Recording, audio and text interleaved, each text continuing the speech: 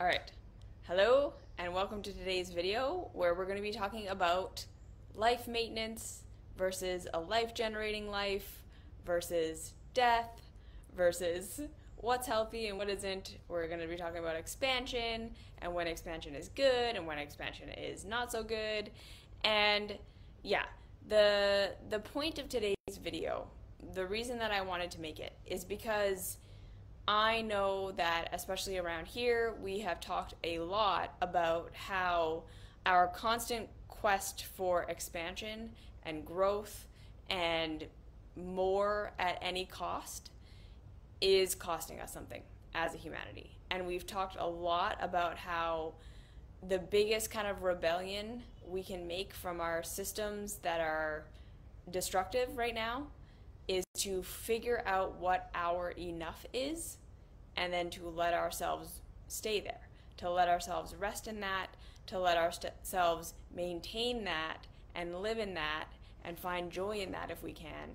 Because again, we we are understanding that so much of what is driving the painful and the unhelpful and the harmful ways of being that are occurring in our cultural systems today is coming from this constant idea that we need to be expanding and growing and taking on more and doing more at all costs.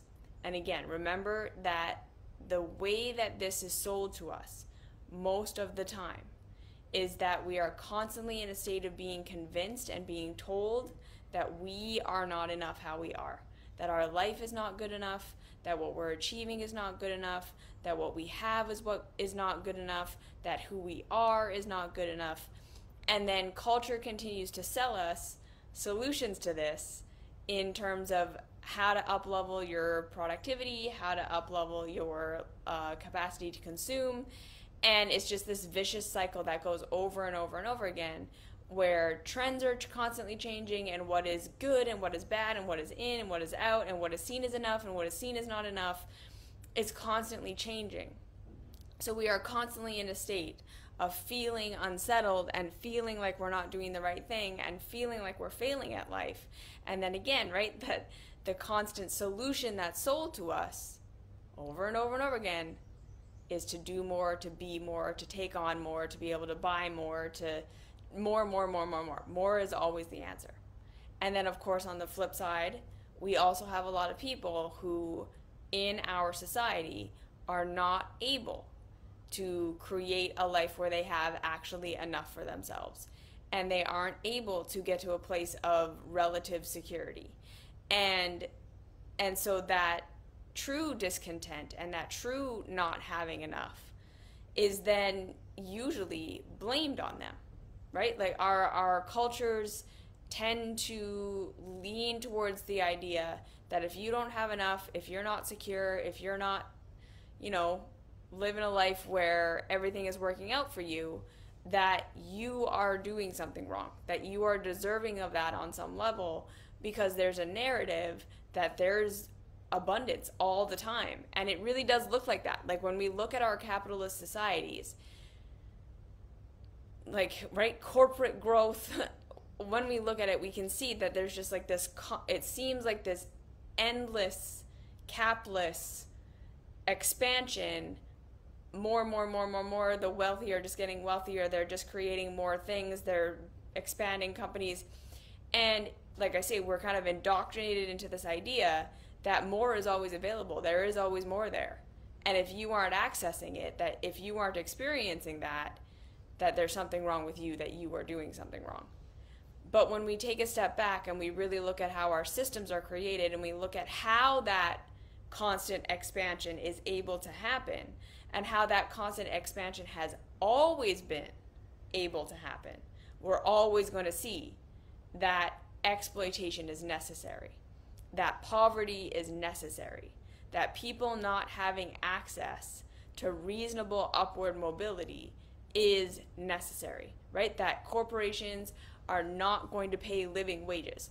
They're not going to give benefits. They're not going to create social security for their workers. They're not going to create working conditions where people can have a reasonable sense of life because that would cut into the profits of the people at the top and that would cut into how much they can spend and how much they can allocate to expansion. You see?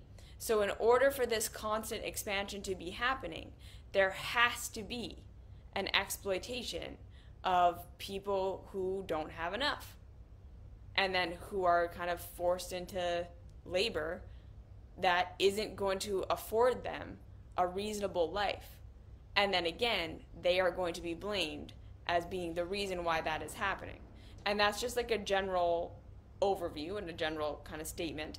But again, it's this constant under this understanding that the the constant not enough narrative, the constant you are not enough, you are not producing enough, you are not consuming enough, you are not doing enough. That is how the middle class of workers is exploited into continually working themselves into a state of overwork, how they are exploited into participating in these systems, how we are exploited into literally gaslighting ourselves and gaslighting each other into you should be doing more, you should be wanting more, why aren't you going for more, what's wrong with you that you aren't pursuing more, all of this stuff to keep the system going. Because again, we're taught that this is what makes somebody good, that this is what makes somebody worthy, that this is what makes a good life. And then, of course, right, the idea that so much of the relief that we find from participating in the systems of constant expansion and growth as the middle class is the promise of luxury and wealth and so much more than we need and being able to access things like therapy or self-care and all that stuff in order to recover from the overproductive state that we have to constantly be in to be in the middle class and to be succeeding in the middle class as though that is the answer right so understanding that the two ways of being that we are allowed to be as human beings in our culture is either in a state of production or in a state of consumption. And in order to be in a state of consumption, you have to do adequate production. And adequate production for most of us is too much. We get overwhelmed, we get tired, we get exhausted. And then we're told, don't worry, take a break, get therapy, all of these things, but you have to have money in order to do that. You see what I'm saying? So it can get really confusing to look at this and to think, so what's the answer? What do we do? How do we make this better?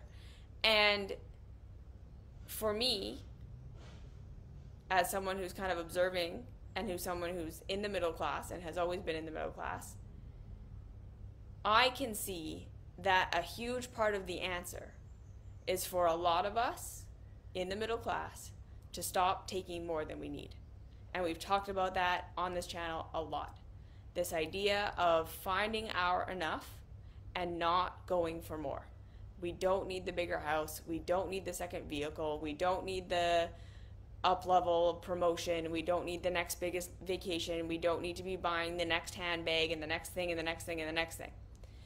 And and seeing where we can we can exist in a state of being totally okay and and maybe even being better than the people around us when we pull back from the overconsumption and the overproduction. But then having to work through the social stigma that comes with that, right? So, this is a big part of why finding our enough is so challenging. This is a big part of why finding our enough is so challenging because it comes with social stigma and it comes with social pressure and it comes with social antagonism and it comes with a lot of guilt and shame and being left out and being judged and being criticized because you're not doing what everyone else is doing. You aren't continuing to try to expand and have more and do more and be more and be ambitious.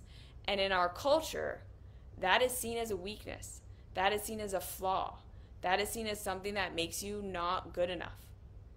And and again, part of the way that we sort of as a culture, I think unintentionally, gaslight each other into continuing on participating in these systems that are not healthy for any of us is through this idea that to pull back and not be as productive as possible and not be keeping up with trends and doing what everyone else is doing is like a moral failure.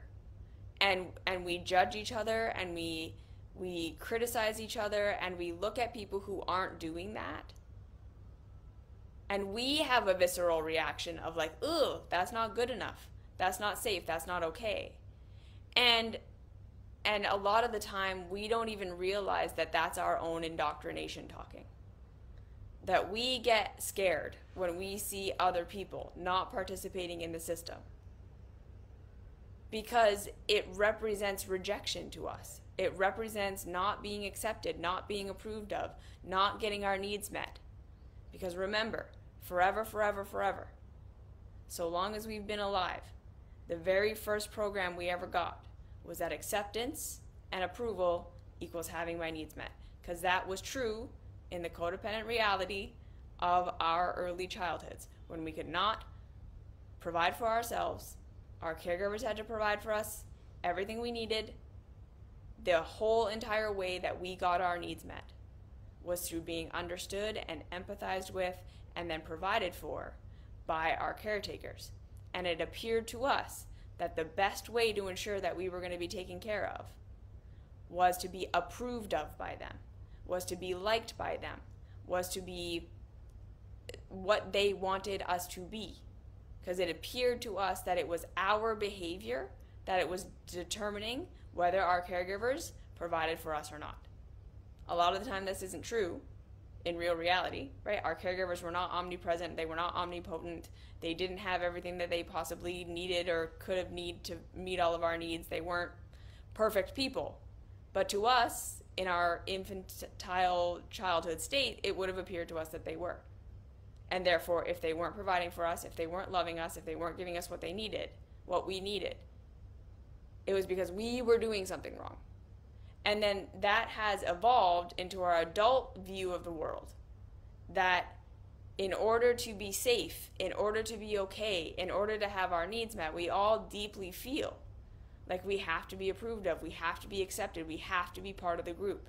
And when we're not, when we're ostracized, when we're judged, when we're criticized, it goes beyond just feeling like shitty that we're being judged and ostracized and criticized.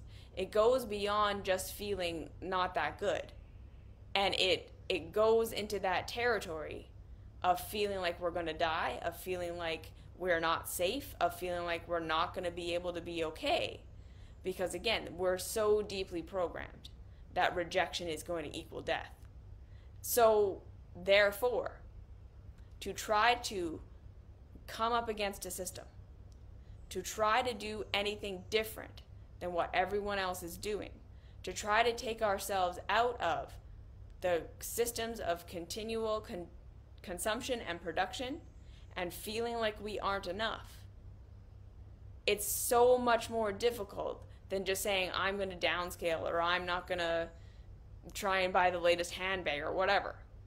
When we actually try to shift our lifestyles to be more conducive to a sustainable way of life, we are so often going to feel like we're going to die and we're also going to feel and receive the criticism and the judgment and the gatekeeping of people around us because they are being triggered by us doing something different. They are being triggered into everyone's not doing the same thing. And then that makes me feel like maybe what I'm doing isn't the right thing. Right? We have to understand this that when we do something different, when anyone does something different than what everyone else is doing, it immediately triggers everyone around us to attack. Because there's, again, this instinct that if we're not all doing the same thing, one of us is wrong. One of us is bad. It can't be that there are different ways. It can't be that we can do things different. It's that there's one way to be, and either I'm right or you're right, and if you're right, that means I'm wrong. which means I'm unsafe, which means I'm not going to be accepted, which means I'm not going to be loved, which means I'm not going to be approved of. And I don't want to deal with that. Or it would mean I have to question what I believe about society or what's good or any of these things, and I don't want to do that. So I'm going to attack you to separate myself from you, and I'm going to attack because right, if you're different, you're probably going to get rejected. So to save myself, I need to separate myself from you. And then also, I need to separate myself from what you're doing so that I can label it as wrong and I can figure out how it's bad and I can figure out why it's shameful. So then that is then reinforcing that what I'm doing is correct and you are wrong. I am safe. You are the thing and I'm going to dissociate from you. So we're all going to experience this idea that when we start to question society, when we start to look at the systems and we say, okay, maybe this isn't great. Maybe expansion at all cost isn't the right thing. Maybe I don't need to be constantly taking more from myself. Maybe, and this is a hard one for a lot of us, especially in the spirituality, self help, personal growth world. Maybe I'm not failing to live my life purpose or failing to live up to what I should be doing if I'm not constantly in a state of expansion. Because again, this hyper consumption, hyper productivity thing is not just for people who are in the kind of regular world who are, you know, climbing the corporate ladder or trying to buy the bigger house or trying to have more kids or trying to you know, level up in the more mainstream way. We see this just as much and maybe even more in the spirituality, self help, personal growth world, where people are seemingly trying to convince themselves that they are counterculture that they are counter to what everyone else is doing. But in real reality, they also feel the constant need to be helping more people, expanding their healing business, expanding their relationships, leveling up in their spirituality, and in so doing, are forcing themselves into states of hyperproduction and hyperconsumption in order to maintain that right? Like their health, it's never good enough. So they need the next supplement. They need the next this. They need the next this workout. They need the next this. Then buy, buy, buy, buy, buy. All of these things. You have to go to the next healing retreat. You got to go to the next plant medicine. You need the next shaman. You need the next therapy so that you're constantly leveling up. You need the next relationship seminar and the relationship coach and then more relationship. You see what I'm saying? This you always need to be leveling up in order to be doing the right thing is just as much a part of the spirituality, self help, personal growth world as it is the the mainstream. Just this message that who and what you are is never good enough, that what you're doing is never good enough, is the thing that's driving the extreme destruction we see on this planet. And like I say, I know this is really hard, especially for the spirituality, self help, personal growth community because there's so many messages that tell us, right? We just need more money in the hands of good people. It's spiritual to be rich. You should be manifesting more wealth and more abundance and more luxury for yourself. And that is a sign that you're doing the right thing. You should be taking on more so that you can, you know, give more sessions or host retreats or doing all these things and you need to be constantly leveling up your life. It's not okay to find a maintenance and to stay there. You always have to be leveling up. And again, right, a lot of the spirituality, self help, personal growth people make that about purpose and doing what we should be doing. And this is spiritual. When really, it's just a constant drive, a constant stress, a constant I'm not enough. It's the exact same thing that every corporate lawyer is doing, but we're saying it's different because we're hosting plant medicine retreats. But it isn't different.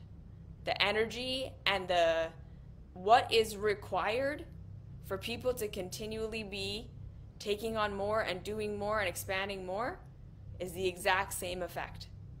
Someone and something is always being sacrificed when we are expanding beyond our actual potential to find regulation in what we're doing. Someone and something is always going to be sacrificed when we are expanding beyond our capacity to do what we're doing regulated. And without asking other people and other things to sacrifice themselves for our expansion. No matter if your business is the most spiritual, purpose drill, purpose focused thing on the planet. If it's too much, if it's too much, there's going to be exploitation and pain of you, of the people you work with, of the land. Something and someone is always going to have to be sacrificed. And I don't think that enough people are asking themselves if I expand into this next thing, if I buy the new property, if I take on the next medicine retreat, if I take on more clients, if I do all this stuff, what needs to be sacrificed in order for that to happen?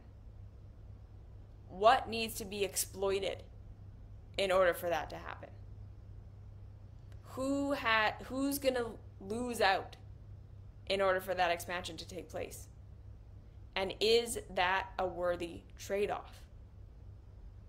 Who am I going to be asking to sacrifice themselves so that I can continue to do this thing? And that's a real serious question I think a lot of us in the spirituality, self help, personal growth world need to start to ask ourselves when we're looking to expand into what we think we need to expand into. Is it really our spiritual purpose and our spiritual call? Or is it just the system dressed up in a new age costume? These are big questions we need to ask ourselves. Okay? So this gets me into that point of again, when we start to pull back, when we start to say, I'm going to do an actual audit of where I have enough, where I am enough, where I am doing good enough, where I am in reality, pragmatically safe, this is fine. When I start to do that audit, and I start to admit where I don't need to expand anymore, that's when we really have to start to do that self love work that helps us get through everyone judging us and telling us that we're not doing what we should be doing, that we're not spiritual, that we're not expanding enough, that we're not ambitious enough, that we're not doing enough, that we're not living our purpose enough, because we're not continuing to keep going for more and more and more where it's literally not necessary or where again we could do it but when we are getting honest about what would need to be sacrificed we can say that's not actually a good sacrifice people are going to judge that and that's the big hard part on the inner work that needs to be done that's why the mystery school is there that's why this self-love work is there because it's one thing to intellectually understand, pulling back and not going for more and not trying to expand. It's a whole other thing to actually be able to do it in the face of judgment. And even when we aren't receiving direct judgment, we need to understand that because of the way we've been indoctrinated, because of the way all of us have been trained to see morality, we have been trained that doing more and expanding into more and being ambitious and all of these things are a moral imperative in our Western culture. Expansion at all costs has been moralized as a good, heroic thing to do. That when we decide we're going to not do that so much, our internal self is going to freak out and it's going to say, I'm not good. I'm not doing good enough. I'm failing. I should be doing more. This isn't okay. Because our conditioning is going to be telling us that. Even if no one around us is telling us that, we are probably going to feel that way. And again, that's why this self love work is so challenging. Because we have to be able to question the programs and the stories we received about what is good and bad right and wrong, which is a whole layer deeper than am I doing good and am I doing bad? Right? A lot of us continually struggle with the am I doing good or am I doing bad? But we don't take the time to assess where did my definition of good and bad come from? Is what I have been told is good actually pragmatically good? Is what I have been told is bad actually pragmatically bad? Where did these definitions of good and bad come from? And do they align with real reality? Where is the expansion no longer worth what is being sacrificed? And again, this is really hard in the Western culture where a lot of the time what is sacrificed is something we don't see. We don't see the people who aren't making a living wage at their job that we benefit from. We don't see the child labor that's happening in other countries so that we can enjoy cheap clothing or whatever it is. We don't see the people who are being held out of spaces where they could access education, of places where they could access upward mobility, of places where they could access reasonable qualities of life, so that we can have more than we need and more than we want, and we can keep expanding. Yeah? It's really challenging to, to get ourselves to look at these things because it's intentionally hidden from us. But this is why I think a lot of us in the spirituality, self help, personal growth world feel how we feel about society, but don't know why we feel that way. Right? Like, how many of you out there watching this have felt like society sucks and have felt like things are not good? And, and when you can kind of take a step back and feel like you're able to find some space between maybe how I'm feeling isn't because I suck, and you're able to find that self compassion, there's still that deep feeling in you of like, this isn't right, and I don't like it, and I don't want to participate. And I don't really know why, I don't really understand. All I know is it doesn't feel good. It doesn't feel good. And now, again, right, a lot of us are a lot more aware now as to why that is, right? The systems we're operating in and why things are so shitty. But like I remember in 20, 2010, when I first moved out of my parents' house and I was making my way in the world, I remember just thinking like, this, isn't gonna work. Like this doesn't work. This is not sustainable. I was in the middle class and I had access to education. I had access to upward mobility if I wanted to work really hard and do that. I had access to all of these things. And I didn't know why at the time it all still felt so horrible because I wasn't aware of the racism and, and all of the ways in which society was set up to benefit me at the expense of other people. I didn't see that at the time, but I felt it. I knew something was wrong. I knew it didn't work. I could see the people not earning living wages. I could see that it wasn't fair. And and especially in the spirituality and the self-help and the personal growth world, I could see how people were spiritually bypassing that and saying, right, like, well, if if you're not rich and you're not abundant, that's your fault. You're manifesting it. Increase your vibration. That and it, and again, I just kept thinking like this doesn't seem right. This doesn't seem true. Because there are so many people who I look and it feels like they're working really hard and it feels like they're doing a lot of things, but it doesn't seem like they have the same ability to create for themselves a good life. Like it just seems hard. And no matter what they do, it seems like it's going to be hard. And and so again, there was a lot for me where I just got to a place of like, I can't do this. I don't understand this. And and I know that I can't keep up. I know that I can't keep up.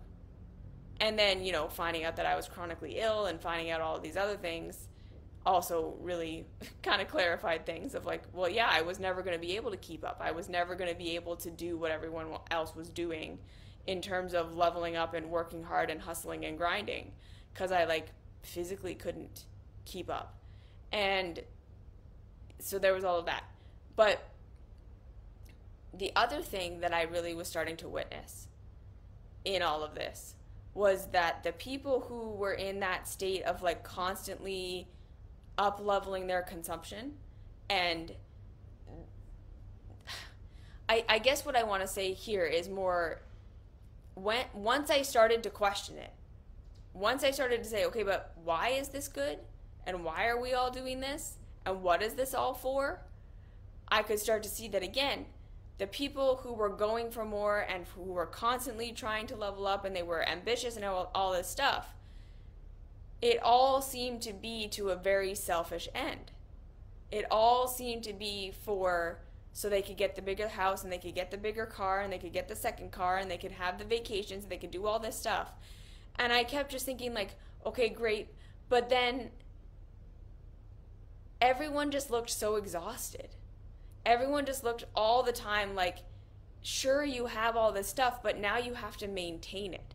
Right? Like now you have to either continue to work at this level to continue to get this income so that you can afford the house, so that you can afford the car, so that you can afford all of these things. And then you either need to pay someone to maintain it, which means you need to be working even more, or you need to be spending the energy to maintain it, which means now you're working a full time job and more. And then you have kids, and then you have to, on the weekend, you have to take care of the lawn, you got to fix the house, you got to do all this. And I was like, what is all of this for? Like, is anyone actually experiencing joy because of any of this? are people really enjoying all of this expansion that they're constantly being goaded and shamed and guilted into having to do all the time in order to be good? Like, what is the point? of having the four bedroom house, of having the eight bedroom house? What is the point of the designer clothing? What is the point of the new shiny hair and nails all the time? Like, it all just felt like effort upon effort upon effort upon effort to look good in a society where looking good basically just means you have lots of money.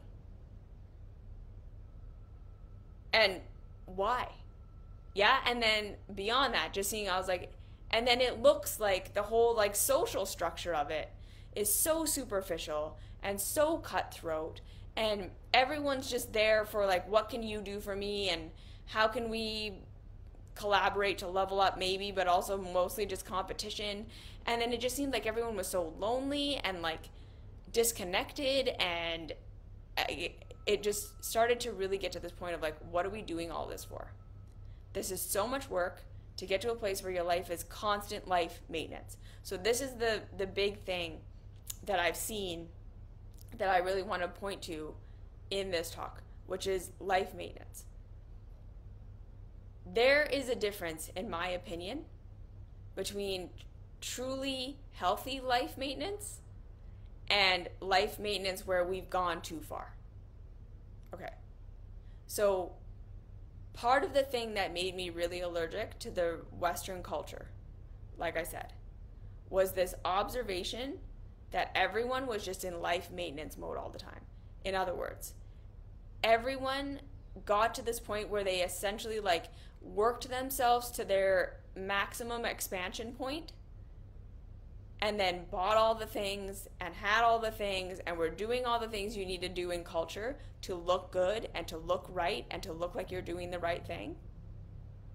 And then the rest of their life was just a constant, never ending, every single day being the same to try to maintain it. To maintain the lawn, maintain the house, get groceries, do get your hair done, do your nails, be on top of makeup trends, be on top of clothing trends. And it was just this constant, like I said, just wheel of efforting to just maintain this image and to maintain this life where I was again like where is the enjoyment in that? What what are we doing this for? Okay, you look good, you have all the things, but do you even enjoy it? Do you even have time or energy to enjoy any of these things? Or are you just constantly in a state of trying to keep it all going, to keep it up? And then eventually you get a vacation once or twice a year, and then you're so exhausted on that vacation you just get smashed or whatever, and then you have to go back to your life. And I kept thinking, this life maintenance doesn't make any sense. And then for me, it was like,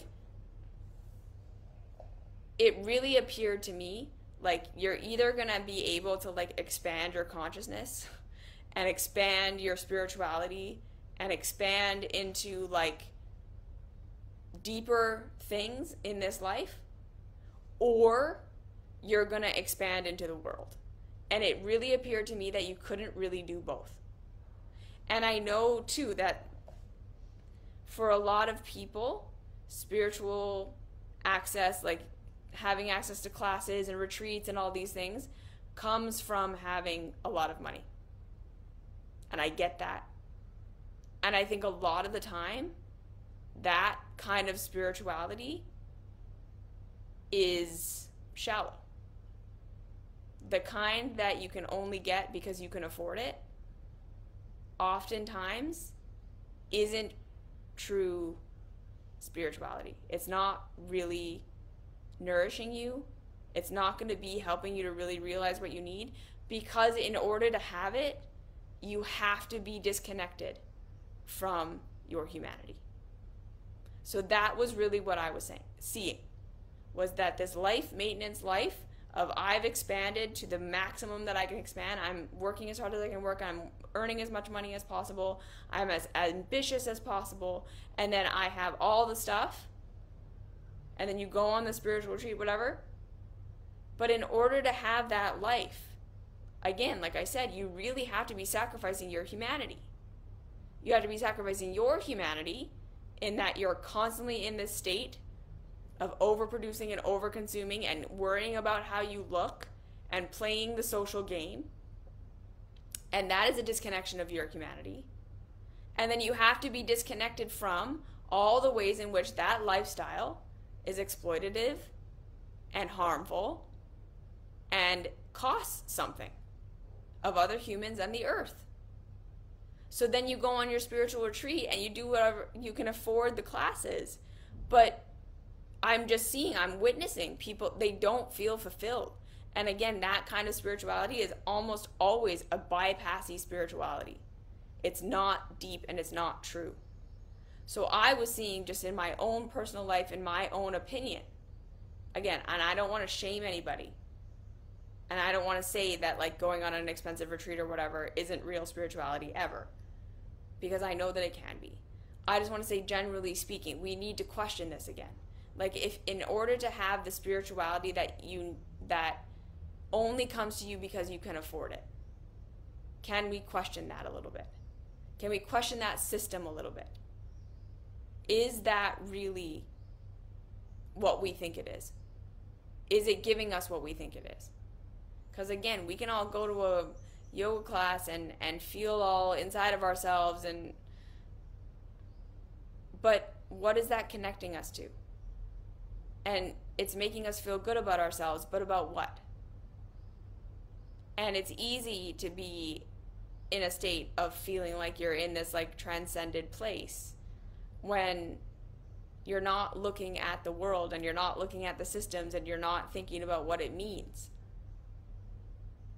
You see? And when you're and when you're in the in group because that's the other big thing that i've seen about like especially western spirituality that it's very cliquey and it's very much just again another place where you have to look the part and you have to have the right clothes and the right way to talk and the right way to be and it's just like what what is this for? What is this giving you other than a feeling of being included? Yeah? So then like I said, I was seeing that there was that kind of life maintenance. And that kind of life maintenance seemed to be to me in my opinion something that required us to disconnect from our spirituality and to disconnect from our humanity and to disconnect from any kind of like deeper inner personal growth because that whole life is so superficial. And it's it, it it's about how it looks. It's about what's going on on the surface. And so we do have to sacrifice so much of the deeper things of life in order to do that. Versus what I think of as healthy life maintenance. Like life maintenance that is really actually a part of true expansion and growth. Okay, because this life maintenance feels like we're constantly behind the eight ball. We're constantly behind. We're constantly behind the trend. We're constantly not enough. We're constantly not this. And we're just trying to keep our heads above water. Whereas I feel like when we can find true life maintenance that is actually fortifying and nourishing, it's the kind of life maintenance that actually helps us grow. So now here's the other thing, right? I think we've seen a lot of people who feel like gr- like real growth and real expansion and real change isn't possible. And that people don't really change and that people don't really grow and that putting in consistent effort over time doesn't actually give us good results. And I think that a lot of people think that way and feel that way because in real in normal society, that's true. It's really actually true. You don't really get anywhere doing your life maintenance in normal society because we're all so maxed out and because it's all so superficial and because it's like literally built on the idea of debt. Just in every way possible. It's like you're already behind by just starting and and again in order to keep up appearances and in order to be doing what everyone else is doing in order to be expanding like even in the like pseudo spirituality world where you're constantly expanding your business and expanding your practice and trying to be more and more and more and more and more you don't get anywhere it's just constant effort to either stay where you are or fall behind because that's how the system keeps you in it. If you were to actually get ahead and actually see growth and actually expand, you would no longer be vulnerable to how that system sells you on staying into it. You would start to check out. And that would be bad for the system. And that is why you have to be constantly not making real progress constantly in a state of feeling like you're reset groundhog day every day. It's never enough. It's never good enough. You never get anywhere. Because that's how they keep you in it. That's how they keep you in a constant state of overproduction and overconsumption and feeling like it's your fault and feeling like change doesn't work. And then, right, they sell you self, like uh, quick fixes and things that promise to make you feel healthy in 30 days or fix your relationship in 15 minutes or up level with this spiritual retreat that you just have to go once and then you're going to be enlightened. They sell us all this stuff because, again, we're all so overwhelmed. The putting in the constant effort and the constant eff- action doesn't actually get us anywhere. We're exhausted, we're tired, and we just want to feel better. And so then when they sell us the quick fixes that don't work, we want them, we're, we go for it, we think that has to be the only thing that's r- real because we've experienced that trying to do things at a moderate pace and and change over time doesn't do anything. Because in the superficial world it doesn't. And then like i say we're just trapped in this cycle over and over and over and over and over again whereas when we get into real life maintenance here's what i want to say. When we're doing things that are truly nourishing for us, that are actually fulfilling some need in us, when we are maintaining our lives in a way where we have practices every day that maintain our bodies, that maintain our spiritual practice, that we will not be stagnant and we will not be falling behind the everyday life maintenance stuff will be slowly moving us forward. In real, true spirituality, growth, expansion, most of the time, growth and expansion comes slowly, over time, with consistent maintenance effort that is actually growth effort. It comes slowly over time with consistent maintenance effort that is actually growth effort. You should be seeing that your meditation practice over the years is changing the way that you see your life and the way that you see yourself and the way that you interact. You should be seeing that the little revelations you get in your spiritual practice. Aren't these big, like, my whole life flashes before my eyes and then I have to make all these changes and I can't and I can't maintain it and I fall off and then I'm have to do the retreat again and then I fall off and then retreat again and then fall it shouldn't be like that. A real spiritual practice is going to show you just enough that you can actually act on and then you have to take little steps and you have to make little changes and it's a bit uncomfortable and it's a bit scary. And you do that over and over and over and over again and over a year, over two years, over three years, your life is totally different. And you look back and you think, well, what did it? Because there wasn't like a big thing that I did. And it's like the big thing you did was you showed up for your practices every single day and they actually nourished you and they actually expanded you and they actually brought you to a new place over time. That is true life maintenance. And like I said, in order to find that, in order to find the time to be able to do the meditation practices, the yoga practices, the nourishment practices, the self love work, the community work, the work we do in our relationships and working on communication and all that stuff. That requires energy and it requires effort and it requires time.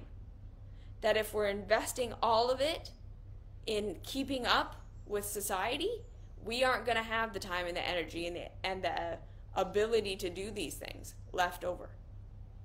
We can do one or the other. And I think it's it's not because we're weak or anything like this. It's because there are only so many hours in the day. There's only so much energy we have. And in order to invest in your future progress, you can't be participating in the breakneck speed of constant expansion and growth that society tells us we should be participating in. You just can't. There's not enough energy left to, eh, to go around. So, real life maintenance, where we do just these little practices every day,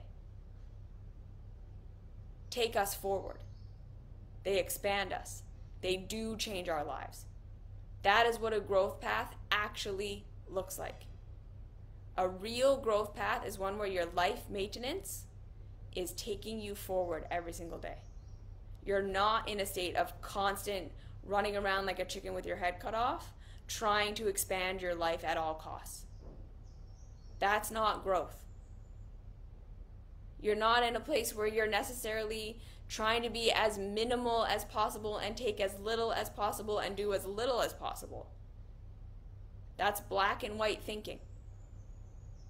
We need to to find true life maintenance, which is actually a life generating path.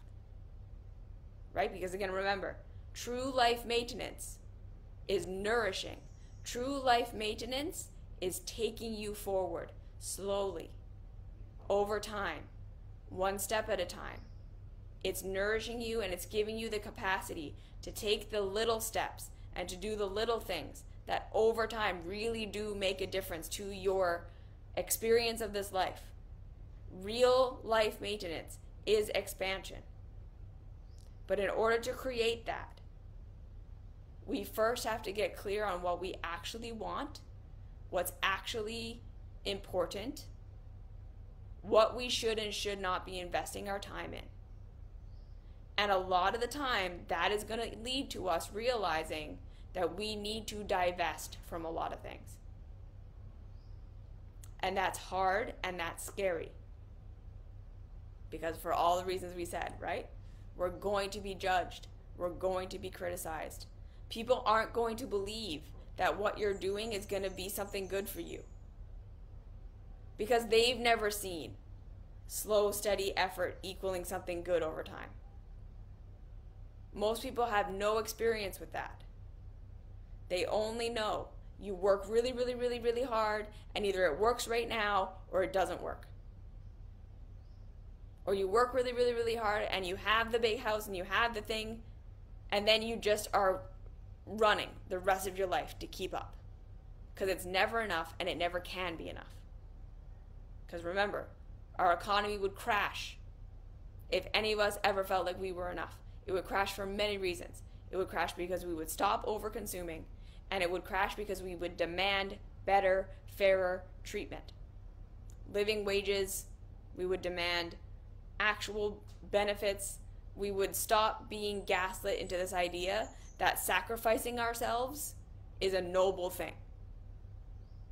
We would stop seeing the sacrifice of our humanity for our systems as the right thing to do.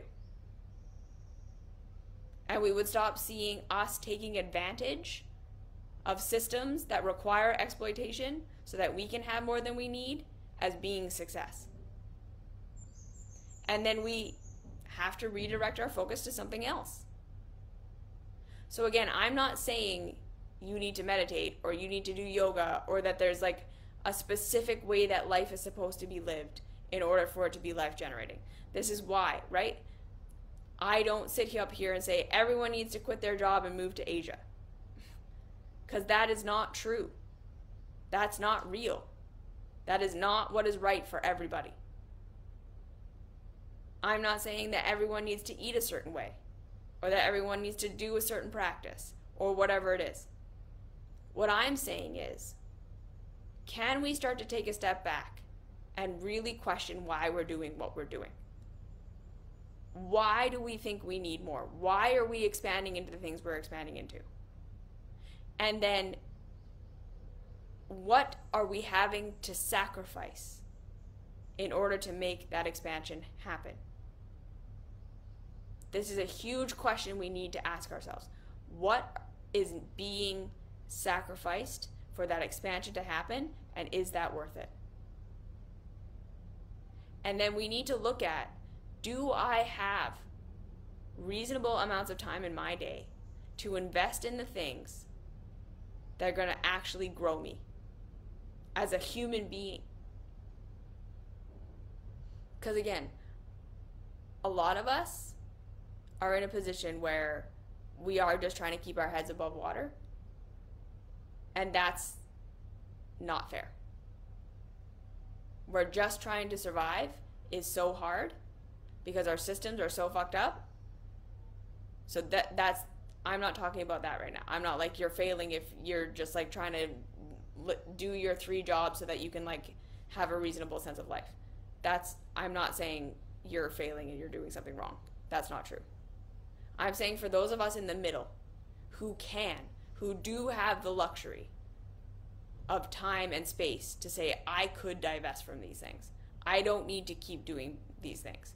I could sacrifice the nails and the hair and the the keeping up with the Joneses and the keeping up with the trends and the, all the time I need to be on social media to try to like regulate myself after working so hard to be good enough.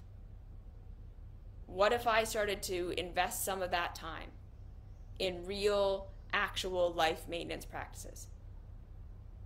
Nervous system regulation, moving my body in a way that's actually healthy for my body. Doing these things that, again, over time, and it, you might not be a spiritual person at all, and that's fine. And it's and it's still again the question of how are you nourishing yourself? And where can you step back from the rat race? So that you can actually build life maintenance. That's true life nourishment over time. So that you start to reap rewards. Instead of being in this constant state of feeling like you're not enough. Because the system is just never going to give us what it says it's going to give us. That's my point.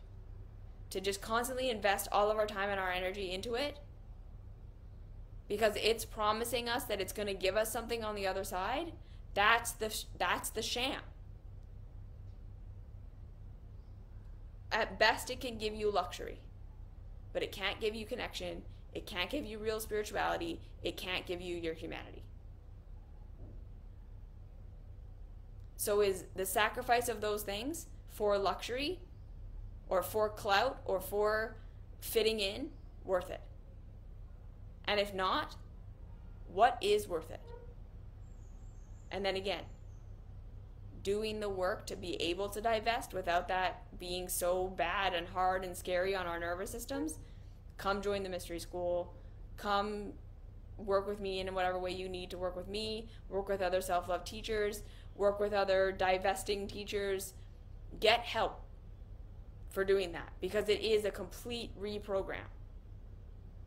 It's a completely different way of life, right? Like a lot of people just with my life. I know my life is like a completely different way of life than most people. And I'm very privileged. And I made choices, right? It's it's it's not that I'm trying to like celebrate myself about about other people. It's that like I did choose not to keep expanding. I did choose to divest. I chose to leave in the ways that I needed to leave. And again, I'm not living in like a totally impoverished Asian nation, so therefore I don't need money. My cost of living here, where I live, is very similar to what it would be if I lived in my home country. That's not what this is about. I divested from the culture. I divested from the ways of that people live so I can live a totally different way because I wanted something different and I just saw that the system was never going to give it to me. So I don't keep up with trends. I don't look how I'm supposed to look. I don't do the things. And I'm fine. And I, I guarantee you that you can probably be okay too. So this is what we're doing. We're looking for the life maintenance life that's actually growth because it's actually nourishing us on some level. And how we need to divest from the system in order to find those things. Because there just isn't enough energy in the day to be in the rat race or growing. And then again, we don't blame ourselves for all the places that we are in the rat race because all of us are in it to a degree. I'm in it still to a degree. There are still things that I have to do every day, all but that aren't life generating because we have we all have to survive. So there's no judgment in this. There's no anyone is doing it better than anyone else. It's not about that. It's it's again, it's it's really about you having compassion for yourself and asking yourself what you need to feel good in this life and then how you can move towards that. It's about you questioning what the system is selling you, it can give you that it's it can't and it won't. You're not doing anything wrong and you're not doing anything bad and this is not about shaming anybody. This is about realizing we were all sold a bill of goods. We've all been indoctrinated that if you just fall in line with the system, you will have what you want and what you need and you will be safe and everything will be good. And that's a lie and it's not your fault. So this this big thing. No one is doing anything wrong and there's no wrong way to do this. It's just assessing for yourself.